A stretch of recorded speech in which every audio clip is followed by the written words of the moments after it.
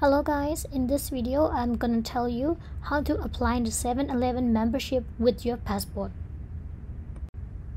Before that, the memberships are mainly for the Thai citizen, but currently like it's so easy to apply with your passport through the 7-Eleven application.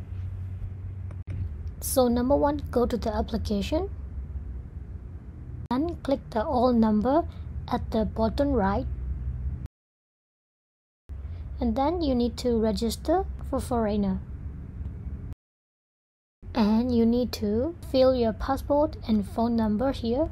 Then click register and then go to the button and accept it. Okay again and then accept. Again and accept. Okay in this session you need to fill all of your information your name your birthday your phone number your nationality everything and then you need to scan your passport. Click scan passport. And then they're gonna ask your permission to access the camera. Click allow. Click allow again. And then you need to scan your passport in a correct way. The next step is you need to take a selfie with your passport. In this step you need to read carefully all of the instruction.